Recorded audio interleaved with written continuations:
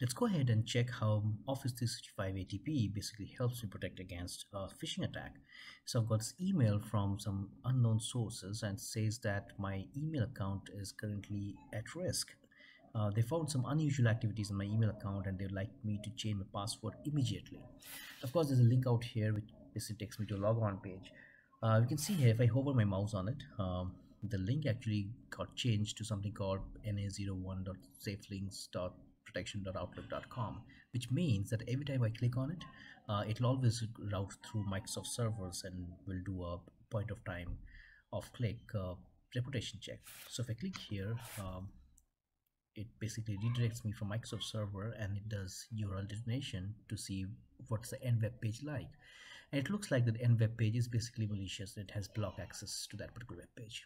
This is how Office 365 ATP safe links protect you against phishing attack